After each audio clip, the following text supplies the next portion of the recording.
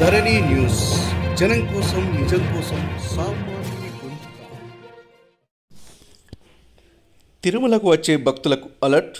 దేశంలో కరోనా వ్యాప్తి కేసుల సంఖ్య పెరుగుతుండటంతో టీటీడీ సంచలన నిర్ణయం.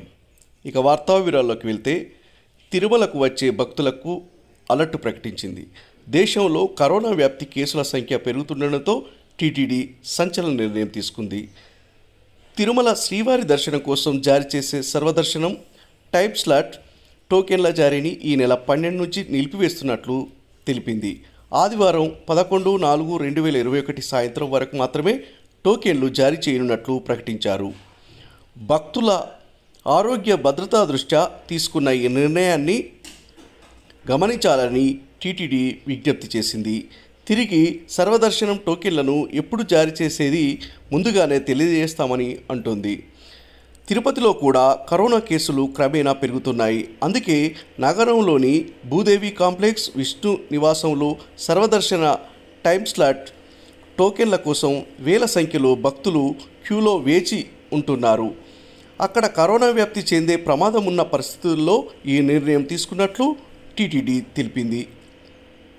శ్రీవారి భక్తులకు నిరాశపరిచే విషయమనే చెప్పాలి. కరోనా సమయంలో కూడా శ్రీవారి భక్తులు స్వామివారి దర్శనానికి క్యూ కడుతున్నారు. దర్శనానికి పరిమిత సంఖ్యలో అనుమతిస్తున్న సరైన రవాణా సౌకర్యం లేకపోయినా భక్తులు తమ షెడ్యూల్స్ను మార్చుకొని స్వామివారి దర్శనానికి బారులు తీరుతున్నారు.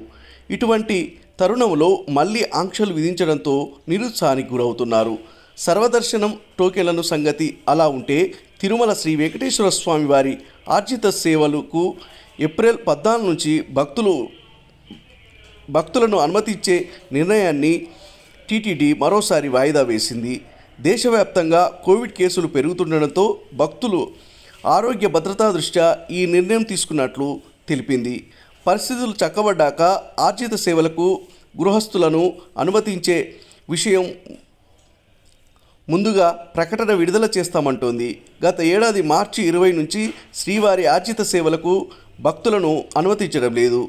కరోనా కారణంగా ఆగిపోయిన ఆర్జిత సేవలు తిరిగి ప్రారంభించాలని టీటీడీ నిర్ణయించింది.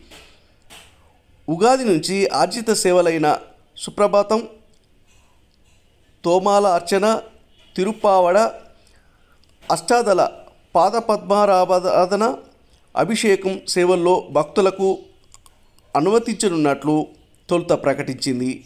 ఈ మేరకు ఏప్రిల్ పద్నాలుగు నుంచి శ్రీవారి ఆర్జిత సేవల్లో భక్తులు పాల్గొనేందుకు అనుమతిచ్చింది. కానీ దేశంలో మరోసారి మహమ్మారి విజృంభించడంతో టీటీడీ పునరాలోచించి తన నిర్ణయాన్ని రద్దు చేసింది. ఏడాది నుంచి స్వామివారికి సేవలన్నీ ఏకాంతంగానే నిర్వహిస్తున్నారు. Thanks for watching this video. Please like, share and subscribe to Dharani TV.